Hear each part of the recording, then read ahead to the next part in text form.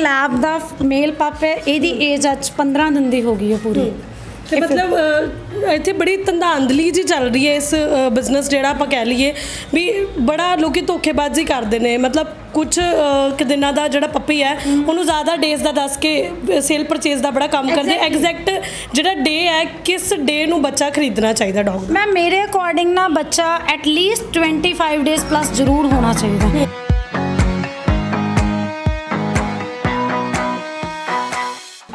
ਵੈਸੇ ਤਾਂ ਦੇਖੋ ਜਿਹੜਾ ਗੁੱਡ ਕੁਆਲਿਟੀ ਮੇਲ ਹੈ ਜੋ ਮੈਂ ਦਿੰਨੀ ਹੈ with Pappi TP that would be around 18000 Okay. ਕਿਉਂਕਿ ਉਹਦੇ ਵਿੱਚ ਮੇਰੀ ਕੰਡੀਸ਼ਨ ਹੁੰਦੀ ਹੈ ਕਿ 35 ਡੇਜ਼ ਤੋਂ ਪਹਿਲਾਂ ਮੈਂ ਪੱਪ ਦੇਣਾ ਨਹੀਂ। ਤੇ ਫਸਟ ਪੱਪੀ ਟੀਪੀ ਦੀ ਵੈਕਸੀਨੇਸ਼ਨ ਕਰਕੇ ਹੀ ਦੇਣਾ।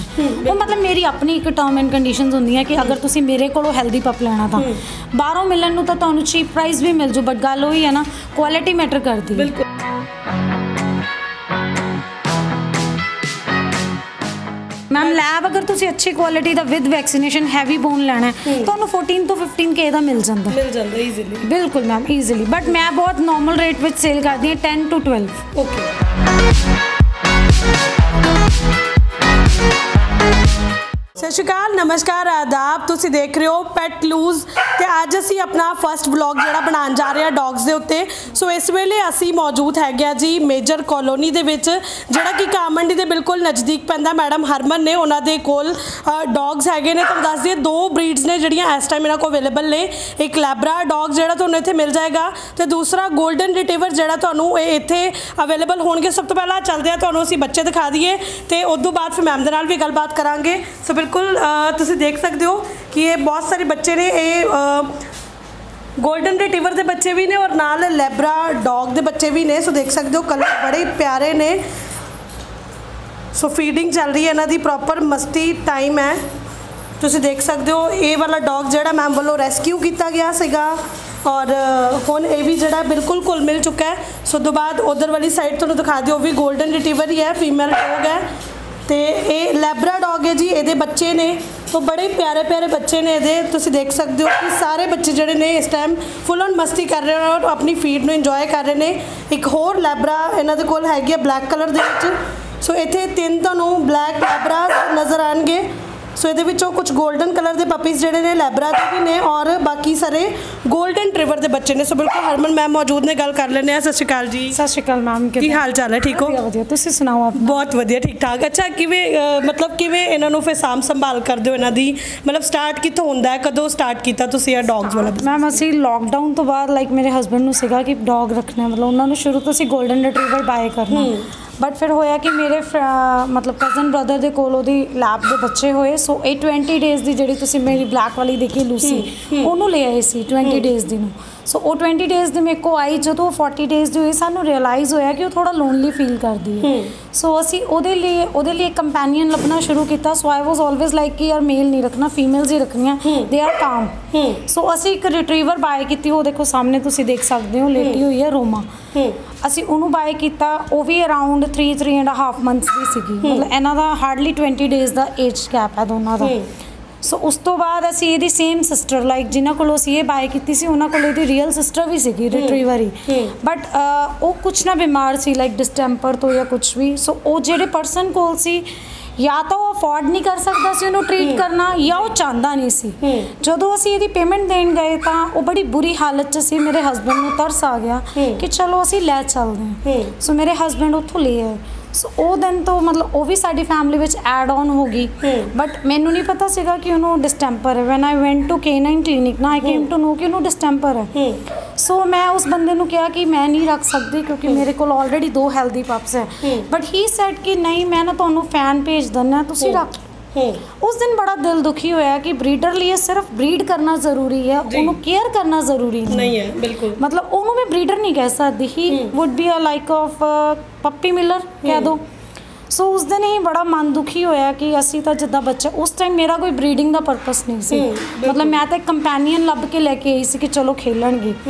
ਬਟ ਉਸ ਦਿਨ ਬਟ ਉਸ ਫੀਮੇਲ ਦੀ ਇੱਕ ਹੋਪ ਸੀਗੀ ਕਿ ਮੈਂ ਬਚਣਾ ਹੈ। ਸੋ ਮੈਂ ਉਹਨੂੰ ਆਪਣੇ ਪੇਰੈਂਟਸ ਵੱਲ ਭੇਜਤਾ। ਐਂਡ ਅੱਜ ਉਹ 2 ਇਅਰਸ ਦੀ ਟੱਚ ਵੁੱਡ ਬਿਲਕੁਲ ਰਿਕਵਰਡ ਹੈ ਸਾਰਾ ਕੁਝ ਸੋ ਜਦੋਂ ਮੈਂ ਫਿਰ ਇਹਨਾਂ ਨੂੰ ਬਰੀਡ ਕੀਤਾ ਲਾਸਟ ਈਅਰ ਲਾਸਟ ਈਅਰ ਮੇਰੀਆਂ ਤਿੰਨੋਂ ਫੀਮੇਲ ਸੀਟ ਦੇ ਸੀ ਬਟ ਮੈਂ ਇੱਕੋ ਨੂੰ ਕ੍ਰਾਸ ਕੀਤਾ ਜੋ ਪੂਰੀ ਫਿਟ ਸੀ ਜੋ ਕਿ ਰੋਮਾ ਜੀ ਹੁਣ ਸੈਕਿੰਡ ਲੀਟਰ ਹੋਇਆ।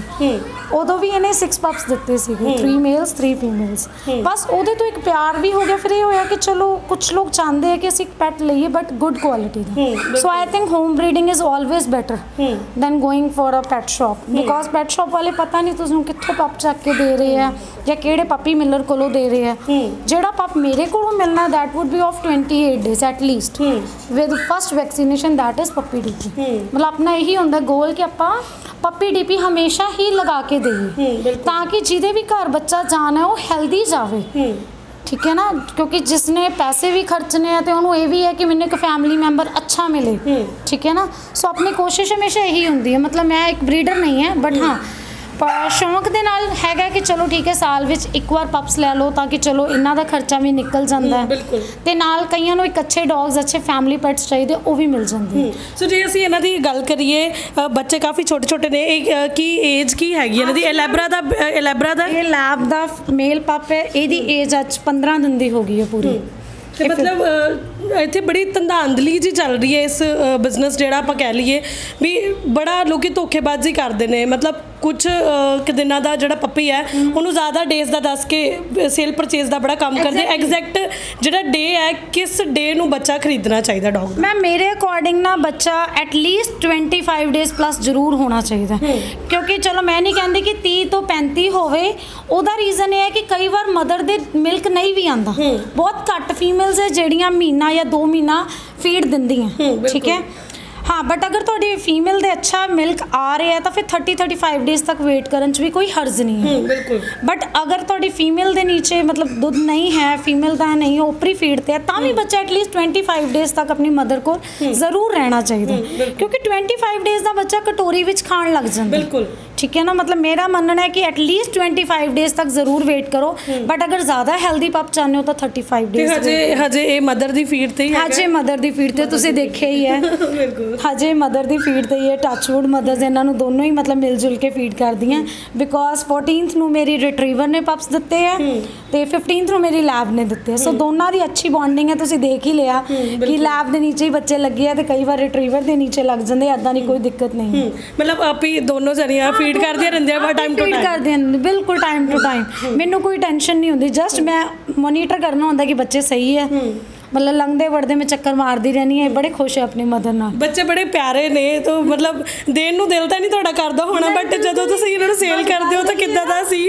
ਹਾਂ ਮਤਲਬ ਬੜਾ ਫੀਲ ਹੁੰਦਾ ਹੈ ਕਿ ਕਈ ਵਾਰ ਬਟ ਮੇਰੀ ਕੋਸ਼ਿਸ਼ ਰਹਿੰਦੀ ਹੈ ਕਿ ਮੇਰੇ ਨੋਨ ਵਿੱਚ ਹੀ ਬੱਚਾ ਜਾਵੇ। ਇਹ ਵੀ ਲੈਬ ਦਾ ਹੀ ਬੱਚਾ ਹੈ? ਇਹ ਰਿਟਰੀਵਰ ਦੀ ਫੀਮੇਲ ਪਪ ਹੈ। ਓਕੇ ਇਹ ਲੈਬ ਦਾ ਮੇਲ ਹੈ ਇਹ ਰਿਟਰੀਵਰ ਦੀ ਫੀਮੇਲ ਹੈ ਇਹ ਅੱਜ ਮਤਲਬ 17 ਡੇਜ਼ ਦੀ ਹੋ ਗਈ ਹੈ। ਇਹ ਵੀ ਹਜੇ ਮਦਰ ਫੀਡ ਹੀ ਲੈ ਰਹੀ? ਮਦਰ ਫੀਡ ਬਿਲਕੁਲ ਬਿਲਕੁਲ ਮੈਮ ਤੇ ਜੇ ਅਸੀਂ ਤੁਹਾਡੇ ਕੋਲ ਕਿਸੇ ਨੇ ਬਾਏ ਕਰਨੇ ਹੋਣ ਤੇ ਇਹਨਾਂ ਦਾ ਕੀ ਪ੍ਰਾਈਸ ਰੇਂਜ ਕੀ ਰਹਿੰਦੀ ਹੈ ਇਹਨਾਂ ਦੀ?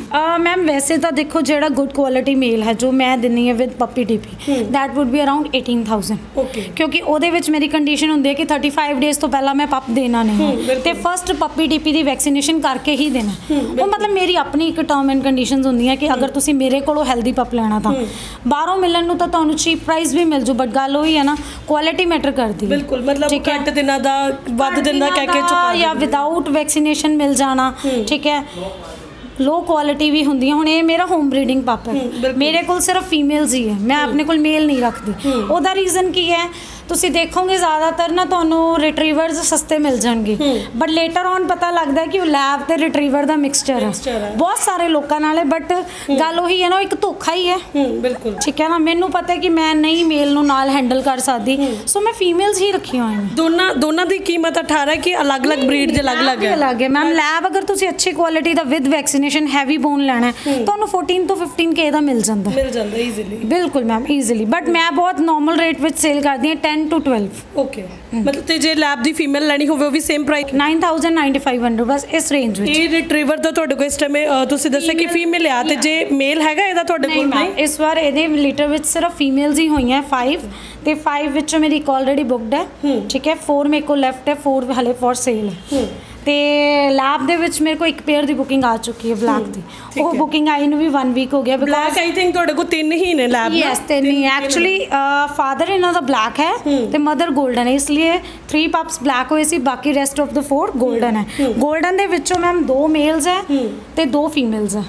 ਸੋ ਜੇ ਕਿਸੇ ਦਰਸ਼ਕ ਜਿੰਨੇ ਵੀ ਸਾਡੇ ਤੇ ਦੇਖ ਰਹੇ ਨੇ ਜੇਕਰ ਤੁਹਾਡੇ ਕੋਲ ਪਪ ਬਾਏ ਕਰਨਾ ਚਾਹੁੰਦੇ ਨੇ ਆਪਣਾ ਕੋਈ ਨੰਬਰ ਜਾਂ ਫਿਰ ਆਪਣਾ ਐਡਰੈਸ ਜਿਹੜਾ ਪ੍ਰੋਪਰ ਮੈਂਸ਼ਨ ਕਰ ਦਿਓ ਤਾਂ ਕਿ ਲੋਕ ਤੁਹਾਡੇ ਕੋਲ ਆ ਜਾਣ। ਸ਼ੋ ਮੈਮ ਨੰਬਰ ਨੋਟ ਕਰ ਸਕਦੇ ਹੋ 9878173181 ਮੇਰਾ ਨਾਮ ਹਰਮਨ ਹੈ ਤੁਸੀਂ ਜਦੋਂ ਮਰਜ਼ੀ ਕਾਲ ਕਰ ਸਕਦੇ ਹੋ ਇਸ ਨੰਬਰ ਤੇ ਤੇ ਐਡਰੈਸ ਹੈ ਸਾਡਾ ਕਾਮੰਡੀ major colony house number 142 thank you so much so ਬਿਲਕੁਲ, ਇਹ ਸੀ ਅੱਜ ਦਾ ਸਾਡਾ ਫਰਸਟ ਵਲੌਗ ਸੋ ਬਿਲਕੁਲ, ਤੁਸੀਂ ਦੇਖ ਸਕਦੇ ਹੋ ਲੈਬ ਜਿਹੜੀ ਹੈ, ਇਸ ਟਾਈਮ ਤੇ ਫੀਡਿੰਗ ਕਰਵਾ ਕਰਵਾ ਚੁੱਕੀ ਹੈ ਔਰ ਆਲਮੋਸਟ ਫ੍ਰੀ ਹੋ ਕੇ ਇੱਥੇ ਆ ਕੇ ਬੈਠ ਚੁੱਕੀ ਹੈ। ਸੋ 골ਡਨ ਰਿਟਰੀਵਰ ਵੀ ਜਿਹੜਾ ਤੁਹਾਨੂੰ ਇੱਥੇ ਘੁੰਮਦਾ ਹੋਇਆ ਨਜ਼ਰ ਆ ਰਿਹਾ ਸੋ ਬੜੇ ਕਿਊਟ ਹੈ ਡੌਗਸ ਜਿਹੜੇ ਬਹੁਤ ਫ੍ਰੈਂਡਲੀ ਹੈ।